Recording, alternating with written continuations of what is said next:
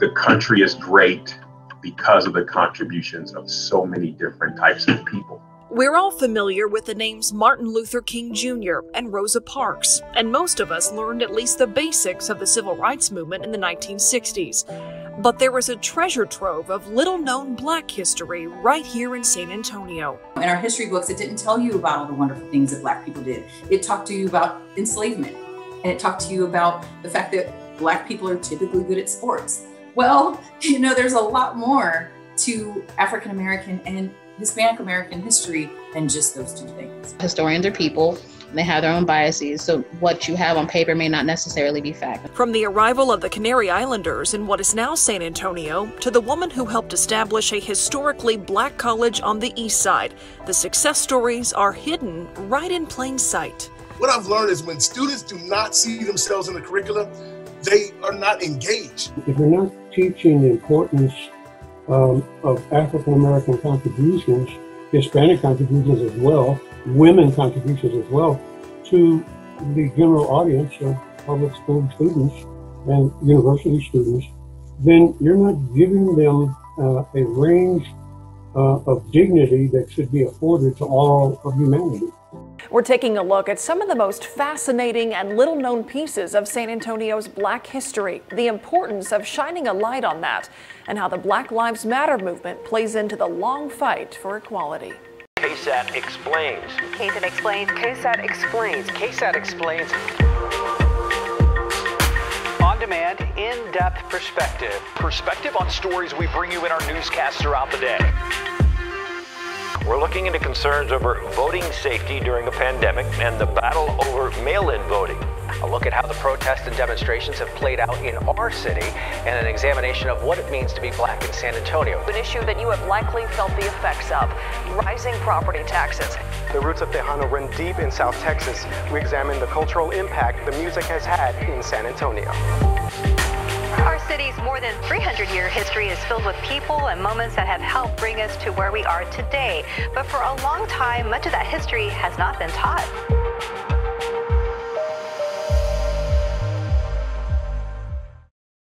Thanks for joining us for this episode of KSAT Explains. I'm Myra Arthur. San Antonio was a city steeped in history, from the missions to the Majestic Theater to Samuel Maverick to Henry Cisneros. There are so many people, places, and events that have gotten us to where we are today. But for years, so much of our city's black history has gone untold. In this episode, we take a look at those elements of our past and explain why they're so important, no matter your background, and how they could influence our future. But first, Devin Clark takes a look at San Antonio black history and the stories that you may not know. Black San Antonians may only make up about 7% of our city's population today, but local historian, activist, and former city councilman Mario Marcel Salas says African American roots can be traced back to the inception of the city when it was inhabited by Canary Islanders. People who came from the Canary Islands, who founded, and I'll put that in quotes because Native Americans were here first, but who founded the city of San Antonio, or the province San Antonio, uh, from the Canary Islands were, gosh, more than a third black.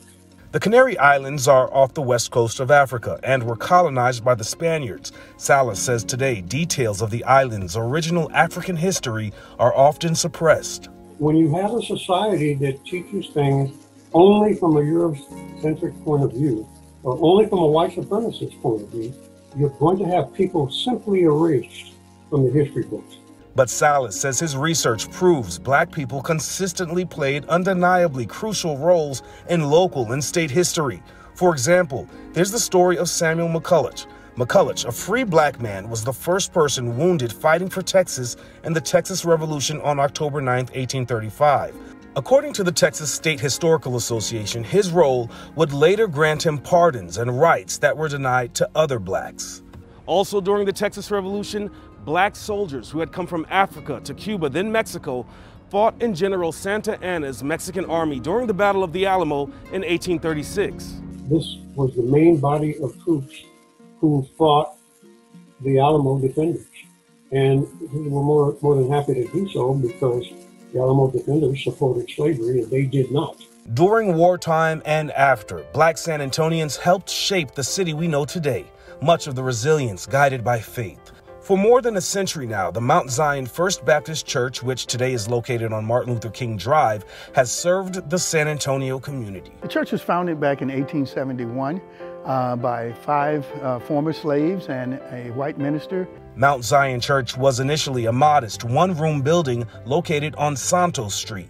The church was there for a long time until 1924 uh, when they marched from Santos Street to this current location and they built this church. And today, Mount Zion is one of many historic black churches still standing here in San Antonio.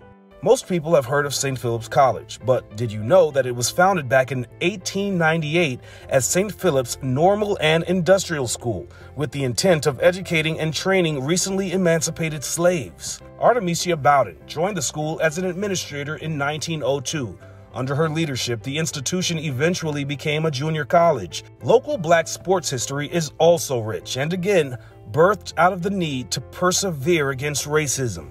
Because blacks could not play on white teams at first, Pittman Sullivan Park here on Iowa Street was where South Texas Negro League teams, such as the San Antonio Yankees, practiced and played. Nelson Swain, who played third baseman for the team starting back in 1964, recently reflected on what it was like.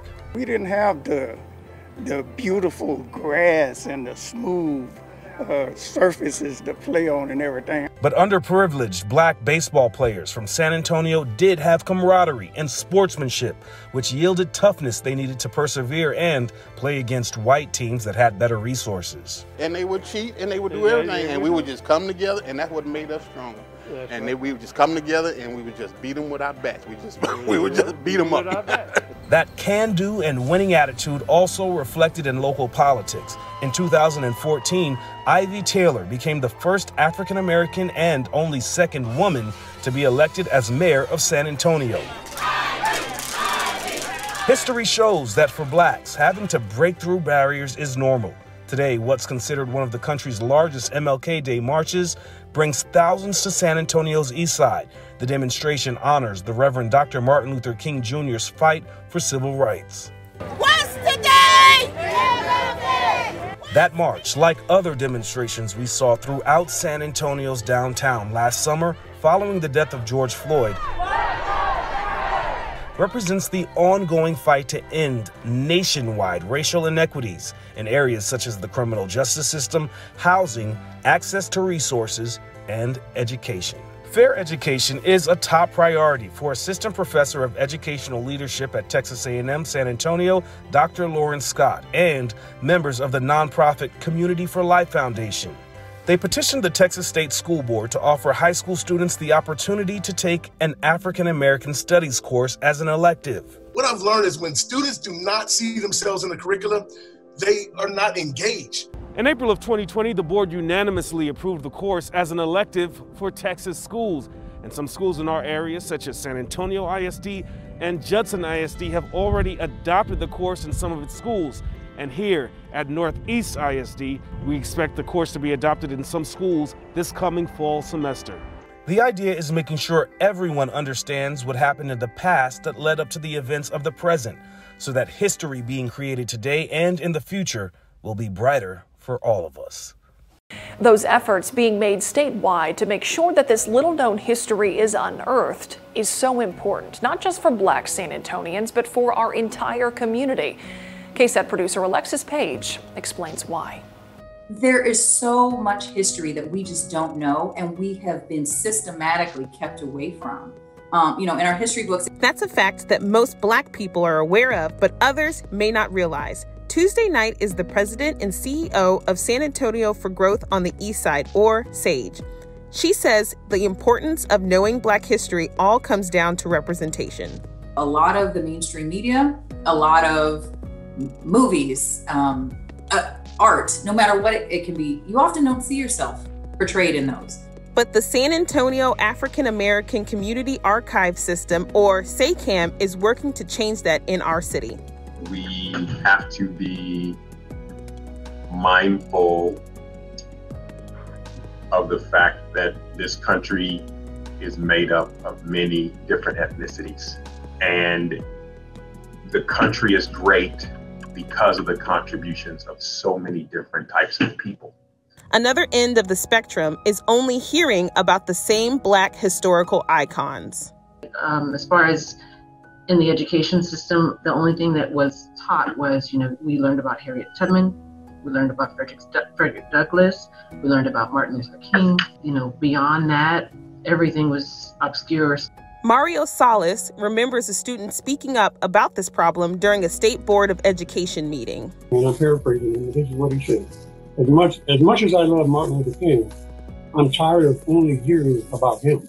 We have many heroes, but yet they're not being discussed. It's a problem that affects everyone. If you're if you're only talking about Martin Luther King as if there was no one else, then you're doing a disservice to the community. Most people know the history behind a handful of popular black icons. George Washington Carver, black scientist known for his inventions like peanut butter, Madam C.J. Walker, first female self made millionaire, and of course, Dr. Martin Luther King Jr., civil rights activist. But it's been more than 400 years since black slaves came to America, and not enough of the stories from the past four centuries have been told.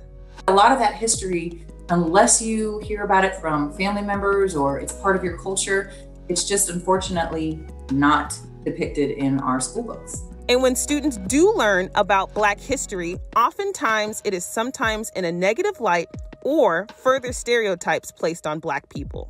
It talked to you about enslavement and it talked to you about the fact that Black people are typically good at sports. Well, you know, there's a lot more to African American and Hispanic American history than just those two things. So, why are so many people taught so little about the history of Black people's contributions to society? Salas says it's due to a rigged education system. So, you get a population of people, uh, people of color, women included, um, who don't get to hear about their heroes. And when that takes place, you're creating a system that doesn't allow uh, for them to experience their own dignity you're, you're teaching it from a white supremacist point of view or a Eurocentric point of view. And that's really problematic. It's not just problematic for black people, it also affects other communities of color. I, you know, I've had students in various classes that never heard of Cesar Chavez. You have to see representation. You have to see somebody that looks like you doing something. And if not, then you'll end up becoming one of the first, which we welcome too. The east side of San Antonio over the years has played an important role in our city's history and culture. It's become home to many in the local black community. RJ Marquez explains how that came to be, and it's a story that starts hundreds of years ago. Historians say that in the 1700s, many of the first Spanish settlers in San Antonio were from the Canary Islands, and nearly a third were black.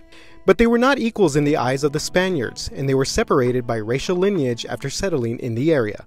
The San Antonio River was the first line of segregation in, in the history of San Antonio. There was a clear boundary between white Spaniards who classified black people as lower class and associated them with slavery. If you were of dark skin, you were Native American, you were dark skinned Mexican, you had to live on the eastern side of the river.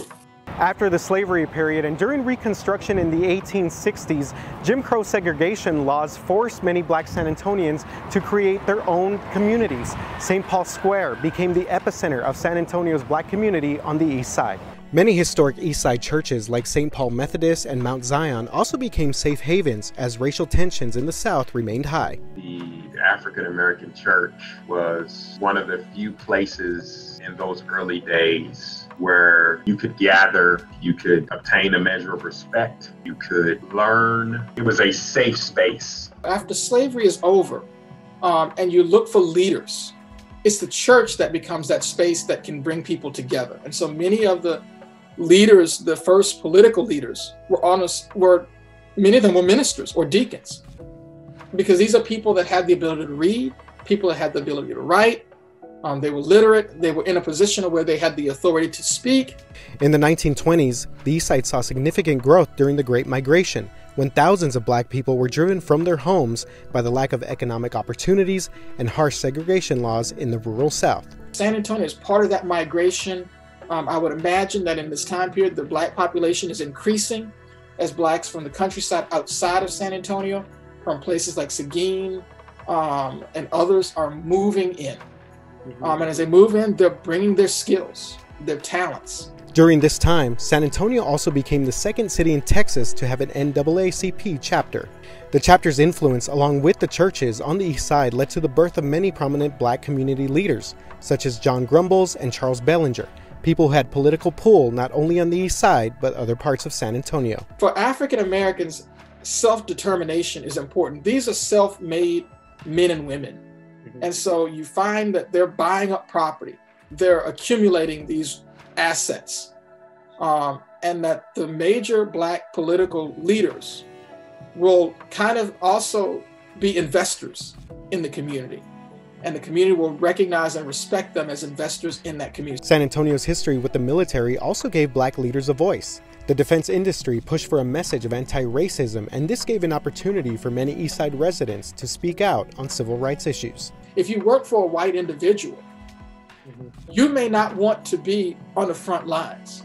But if you were your own business leader, your business owner, you owned your own business, or you work with the military, these are going to be the people who will push for civil rights.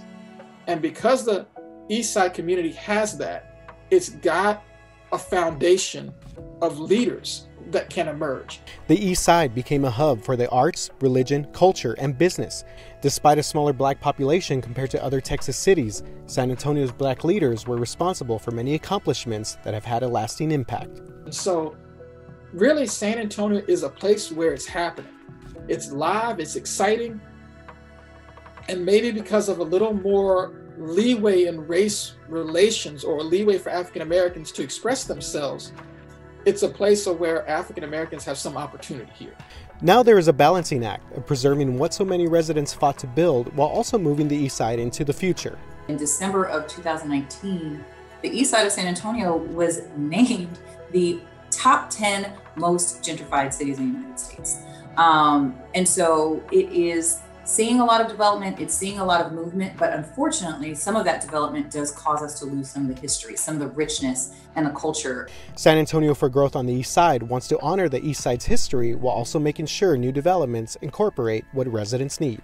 And you, you, you see Redberry Mansion just opened up. Um, that is in the heart of the East Side. We have the ETSC, the East Side Education Training Center, that's working on job force and workforce development. We've got St. Philip's College, the only HBCU on this side of the Mississippi and Hispanic serving institution. Then, you know, we've got all of our other partners that are really doing some great things. Velocity Texas, that's coming to bring in STEM jobs and, and things. So the development is happening, and we just need to make sure that we keep our finger on the pulse of all those things to make sure that it is uh, incorporated into the fabric of the community. When it comes to black history, we're living in a moment right now that the history books will likely remember the Black Lives Matter movement. It's been around for years, but it gained national focus and attention in the summer of 2020 after George Floyd and Breonna Taylor, a series of incidents in which black people were killed at the hands of law enforcement. There were marches and protests. Corporations got involved, showing their solidarity through ads or social media posts. So when we look back at this moment years from now, what role could the Black Lives Matter movement play in the larger civil rights story? I am the president of Black Freedom Factory. Camilla Factory is a San Antonio activist, someone you may have seen on camera before when it comes to the local Black Lives Matter movement. It's natural and important that we observe that the fight is, is no different than the 60s, and that is basic human rights. We're talking about folk existing in violent structures uh, that we you know just continue well not we that society continue to oppress communities of, of color uh, and vulnerable communities so the the dialogue is important because it's no different um, than it was in the past and that's for people to have basic rights while the message of equality is much the same, the origins of Black Lives Matter and the civil rights movement of the 1950s and 60s are different. Professor Carey Latimore wonders how that could impact how history remembers the movement. Black Lives Matter is really coming out of the more um, progressive Black Power, Black Panther Party, um, Republic of New Africa, and other kinds of movements that were a little more radical than some of the more traditional um, Southern Christian Leadership Conference and other movements that were really the foundation of the earlier civil rights movement. So I think that in the later civil rights movement, if we open that up to include Black Panther Party and others, then you can see the Black Lives Matters movement coming into part of that. Then there's the technology we have today that those who witnessed the civil rights movement couldn't even imagine. For the civil rights movement, we have journals, we have papers, we have all these newspaper clippings to tell this story, but a lot of the Black Lives Matter movement has happened on social media. Are people saving Instagram feed? Are they saving Facebook pages? Are they downloading these videos? So while it's so strong in our memories right now, 10 years from now, what will we have for people to research these events in the future? We can only wait to see how history defines this moment, but those we spoke with who are living witnesses have hope that the struggle for equality, justice, and equal opportunity will be the stories that prevail. It's a universal concept that everyone should be treated equally and fairly, and that and that that premise of Black Lives Matter, I think, embodied that. And I think that the country needed it, it came at, at the right time. I hope history smiles at Black Lives Matter because that's simply what it encapsulates Black futures. It encapsulates Black children innovating in STEM and art and medicine. It means that we matter beyond a hashtag at the whim of violence. It means that our futures are just as bright and as promising as anyone else's. There are so many more hidden pieces of San Antonio's black history. We encourage you to visit saaacam.org to dive into their online records and exhibits. That web address is here on your screen. The state of Texas, the last holdout after the Emancipation Proclamation was signed, giving enslaved people their freedom. Our Jesse Degollado has been working on a series of stories exploring black history in San Antonio and Juneteenth. One of those stories takes us to a San Antonio museum that celebrates Juneteenth every day. At the heart of the San Antonio African American Community Archive and Museum, the lesson and legacy of Juneteenth. Freedom is is is is not really freedom unless everybody's free. SACAM's Chief Administrative Officer Jeff May says Juneteenth is certainly a day to be celebrated. But to learn beyond Juneteenth should take you here to 218 Presa. SACAM traces what led up to the day the enslaved people of Texas finally learned they'd been set free two years earlier by the Emancipation Proclamation. There's a timeline, artifacts, and much more. There is a place here that they can come and learn and explore and dive deep into the histories of African Americans in this region, including those who would make their impact on San Antonio and Bexar County. African Americans are black 365, and there's so much to us, there's so much to our history. Visitors, he says, can learn about a past they knew little about. And also, they rediscover themselves when they come and take a look. SACAM is located here in historic La Villita, convenient to visitors and locals alike. We're open every single day, and they can come and they can visit, and we're free. Slavery at one time was very prevalent in San Antonio. In fact, records show that at times in our history, more than a quarter of the people living in San Antonio and Bexar County were enslaved. The Bexar County Clerk's Office has the records to prove all that. Now the clerk tells Jesse that her office is working to document it. So this one is in. Um, Before Lucy Adame Clark became Bexar County clerk, I didn't even know that slavery existed as much as it did in Bexar County. A map shows nearly 30% of Bexar County's population was enslaved, less than that of East Texas. But there was still a lot of people being sold here, and that's still an important thing to know slave over there as a nation. The freedom exhibit that Raven Correa helped organize bears the proof, including bills of sale for human beings. I didn't realize some of the influential people that were buying slaves. One display shows the prominent Tejano, Jose Antonio Navarro, had as many as nine, likely for domestic work. They're mostly young women. Old handwritten records show less than a handful of slaves were sold at a time, some were paid, but a portion of that money went to their owners if they were shared among other plantations.